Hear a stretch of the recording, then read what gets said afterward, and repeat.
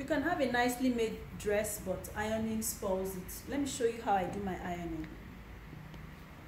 I turn it inside out, then I open it flat like this. I proceed to, I showed you in the other video how to set the iron.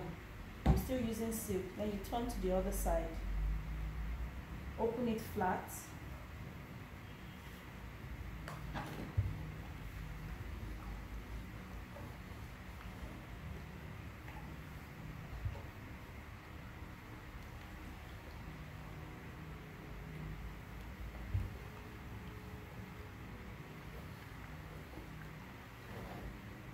I've increased the heat slightly because I wasn't seeing the steam.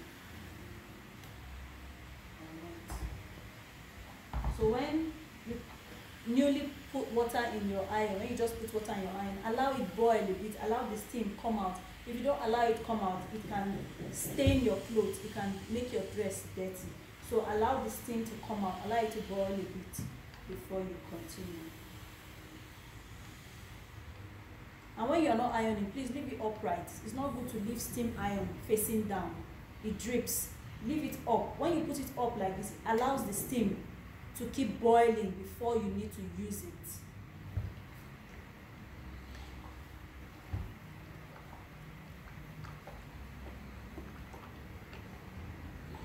Next part is the zip part.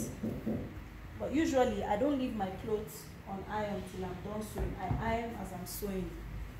So when I'm done, I turn it to the other side. I still make sure it's open. Make sure it's open. See, I'm holding it, open it flat. You see how I turned it? Ironing flat. Ironing it like this doesn't make, uh, allows the hip stay flat I don't know if you've seen some dresses some people wear and you will see that the hip is sharp as if it has an ear.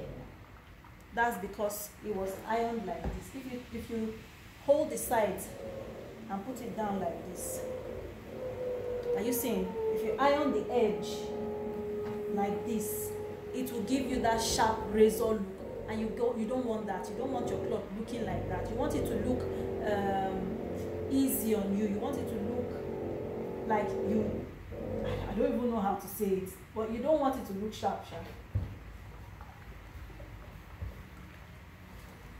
So you iron the zip make sure it's open then you iron. Go to the other side.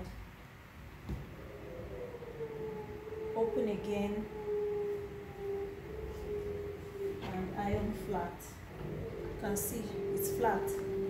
And I'm not ironing I'm not ironing up to this edge I don't want a gator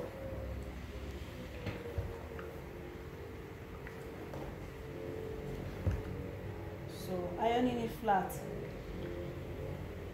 makes your cloth look very nice. It will not give you a gator it won't give you a sharp ear making your hip look funny. So I'm done with the sides. Then I go to the hem again smoothing down any excess smoothing down then we're done the slit I don't know how you sew your slit but mine I look for the shorter side. I put the shorter side up, I put the longer side down. So this side looks longer than this. If you have something like that, but if it's equal, you can iron any side. So you measure the allowance um, from your sewing allowance. That's the same amount you leave for your slit. So I fold it down, then I iron and make sure that, I hope you can see what I'm doing. I make sure that when I get here, it enters smoothly into the sewing line.